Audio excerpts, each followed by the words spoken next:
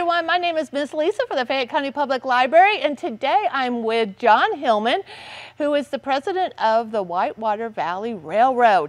And we are here inside his shop where they do some restoration of some of the train cars and engines. And so we're going to have John tell us a little bit about how trains work and what they do here. So, John, tell us a little bit about your position and, and some of the things that the volunteers do here. Well, I've I'm the president, and I've been with the railroad 50 years, believe it or not. it's quite a while. I've been here since the very first year that uh, we were formed. But uh, we're all volunteers. We have one paid staff, and that's our office manager. But everybody else, all the work that we do is done by volunteers. Now, we do have to have contractors once in a while do some of the really major stuff. But uh, we've been here, like I said, for 50 years, and we're still going, and we get better every year. Mm -hmm.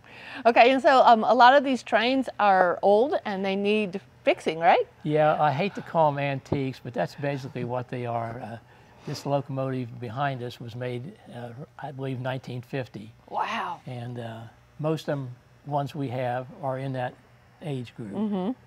So it's pretty basic. They're pretty basic compared to what you have today. How many do you have here? Well, we have four that's in service. We have okay. some others that need work to be put back into service. But mm -hmm. We've got quite a variety. We've got them from, uh, I believe, five different makers. So we've got a good representation of, of diesel locomotives oh, to cool. makers. Okay, so these are diesel engines? This one behind me was made in Lima, Ohio. Okay. It's called a Lima Hamilton, and that's because the engine itself inside the locomotive was made in Hamilton, Ohio. So it was one of the early locomotive builders, but they got in the game too late and they didn't last very long. Mm -hmm. And this uh, one behind us is going to be in service, we hope, this year. We have another one just exactly, almost exactly like it, a Lima Hamilton, that we use every week. Mm and uh, it's our pride and joy. Awesome. Okay, so I know nothing about how these um, engines or these locomotives work, so can you maybe take us back and show us some of the parts of a, of a train? Right, and, and everything here, when I try to compare it to a car, it's hard to compare because everything is huge. Cool. Everything around the railroad is big and heavy and dirty. dirty. well, I'm excited to go see it because let's let's see well, what we can have here. Let's start down about the middle. Okay. We'll start here at the front of the engine and point out some of the parts. And everything here is big compared to say like your automobile. Right here is the radiator to keep the engine cool just like in your car. There's one on this side and there's one on the other side. And then there's a huge fan on top, It's just like in your automobile. But these are cooled by water. So they feed water to the uh, what we call the prime mover, really the, the engine of the locomotive. Hmm. And this one, I believe, is an eight cylinder, but the cylinders are huge. Hmm. The cylinders are bigger than this pipe wow. compared to your car. Now this, this locomotive isn't real powerful. It's uh, a thousand horsepower, but it's diesel. It uses diesel fuel. At the end of the locomotive, at the end of the prime mover, is this huge generator. Wow. And that's what is turned by the engine. And it turns the generator and makes electricity. Okay. Now, down here on the wheels, there's a big motor on the axle, on each axle. This is a four-axle locomotive, so there's four motors. The generator provides electricity for the motor. The motor turns the axle, which is the wheels, and propels the locomotive. It's pretty basic. It's, hmm. it's really pretty basic. And here at the end of the generator, also hooked to the whole thing, is an air compressor. Wow. The air compressor makes the air for the train, and it'll be set at around 90 pounds per square inch. And that's what all the cars are connected together by brake hoses, air hoses, and that's what you use to brake the uh, train. Hmm, cool. So what, what's this down here? Now down here is just a typical battery And you can see how large everything in a, at the railroad is large. And um, I can't tell you how much that weighs. You can't. You, there's no way you can lift it by yourself. yeah, wow. but uh, this engine, I believe, weighs about 120 ton, the, the total locomotive, and that's small. That's small. So this this one we're trying to restore, and we have a sister engine that's pretty close to being the same, and they're the only two in the United States that will be serviceable. Wow. The one we use now is the only one in the whole United States. It's called a Lima Hamilton. Hmm. And this is why we wanted to get this one Well, yeah. restored. So it helps us be well known around the United States. Cool. Well, can we get up inside the cab and Sure see what's going on up there? Awesome. Okay, this is inside the cab where the engineer sits and controls the locomotive and the train. You can't see this very well, but this lever here is the throttle. And that's just like the accelerator in your car. You move this throttle and it'll speed up or slow down the car. All these other levers, this, this top one is the brake, and this is what you use to control the train with. Now the smaller lever, lever down here is also a brake handle, but it only controls the locomotive. So say the locomotive is just going down the track by itself, you, you would use this one. Okay. This one, I believe, is the sander, which puts sand down on the track in front of the wheels to give it traction when it's needed, like going up a steep grade or mm. rain. And the other handle is the bell, which will hmm. ring the bell. And you have all kind of gauges that lets you know what's going on with the locomotive. Mm-hmm. The cabinet here in front is all the electrical equipment. That's all relays.